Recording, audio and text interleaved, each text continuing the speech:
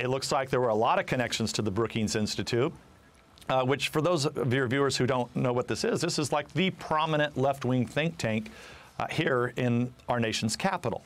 And we think there is a mm. connection mm. between the president of Brookings and those dossiers that were given to the State Department that mirrored the Steele dossiers, which, look, all of this, what, what does this mean? These, this was the Clinton campaign's dossiers. It was the dirt. It was a phony story uh, that they sold not only to the American people, but they sold it and corrupted our FBI, where it appears like these dirty cops were more than willing to take this information and present it to, to the FISA court. Yes, that was Congressman Devin Nunes on this program back in 2020, exposing direct links between the Brookings Institute and Christopher Steele's uh, fabricated dossier, which was bought and paid for by Hillary Clinton and her campaign and the Democratic National Committee. Last week, Steele's primary subsource, Igor Danchenko, uh, who was also an analyst at Brookings, was arrested and charged with five counts of lying to the FBI. The third indictment in special counsel John Durham's probe he has since pleaded not guilty. My next guest took the depositions of several of the players who were pushing the phony Russia collusion lie.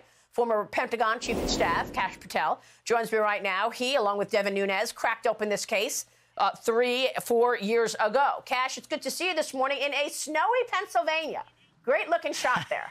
Great to Great, look, great to be with you, Maria. Thanks so much for having me from Happy Valley. So, Kash, connect the connect the dots for us. You heard Devin talking about the Brookings Institute. I'll bring up the graphic of Durham's indictment of Danchenko, uh, talking about Danchenko working as an analyst at uh, at Washington-based bank uh, think tank, which is the Brookings Institute, where he focused on Russia and Eurasian geopolitical matters. Uh, tell me about the connection uh, that Danchenko had in Brookings. Yeah, that's a great starting point. And let's front load the conversation, Maria. Uh, John Durham issued uh, subpoenas to the Brookings Institute. I don't think most of America knows that, but he actually issued federal grand jury subpoenas for documentation, which we now know he used in his indictment against Danchenko. And who was Danchenko? Danchenko was Fiona Hill's former research assistant. Who is Fiona Hill? The world probably remembers. She's the one who conjured up the Ukraine impeachment fiasco um, in her time at the White House. And why is she important? Fiona Hill connected Danchenko to Christopher Steele.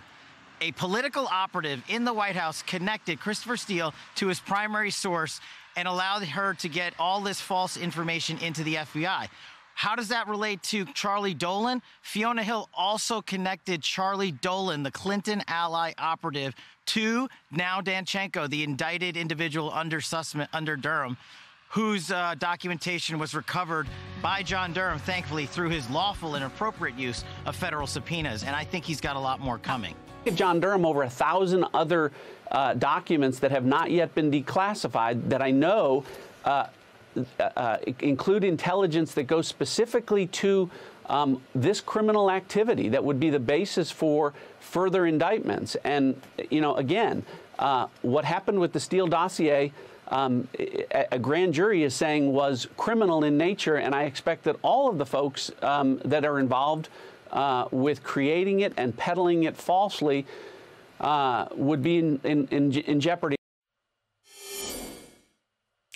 And that was former Director of National Intelligence John Ratcliffe with me last week on this program on what he declassified, which of course exposed uh, that this dossier and whole Russia collusion lie was a fabrication from Hillary Clinton. I'm back with Kash Patel right now. And Kash, we mentioned Fiona Hill making all of these introductions uh, to Christopher Steele as, as well as uh, Charles Dolan. Uh, meanwhile, she says she has no idea what they were doing. Here is a quote from her from a closed door testimony from October of 2019 saying, I have no knowledge whatsoever of how he developed that dossier. None. I just want to state that. What are your thoughts on this? And, and give us your sense of the three indictments we've seen so far and where this is going. Yeah, real quick on Fiona Hill. I think John Durham is on the case here because Fiona Hill has a credibility problem. I believe she lied to Congress there under oath. She connected the main Clinton political operative, who Devin and I had never heard of because DOJ and FBI withheld those documents from us intentionally, I believe so. And now John Durham has exposed that. She connects the Steele operation to the Democratic Party, and she has the gall to go on national TV or into closed door testimony and say, I don't know what's going on with Steele. But John Durham's on that case, and I think we're going to get there. As to the three indictments that John Durham has issued, I believe he's built a sort of triangle of indictments, as I call them. At the top of the pyramid, you have Sussmann, who represents an indictment of the Hillary Clinton campaign, the DNC, the law firm, and Fusion GPS, funneling tens of millions of dollars to perpetuate the biggest fraud in American history into the FBI. The bottom two pillars of the Durham triangle, I believe, are the FBI's, John Durham's indictment of the FBI attorney which is literally an indictment of the FBI and now a criminal conviction for lying to a federal court to perpetuate a fraud and get a FISA warrant falsely. The last leg of the Durham Triangle comes in the form of his recent indictment of Danchenko. Who's Danchenko and why does it matter?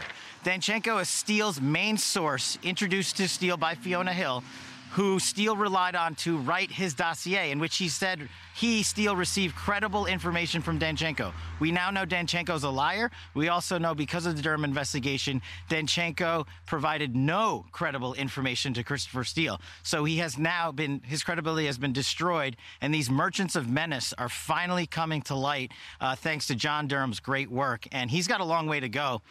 And I'm glad he's getting the indictments, excuse me, the information that Rod Rosenstein and Chris Wray intentionally withheld from Chairman Nunes in our investigation during Russiagate probe.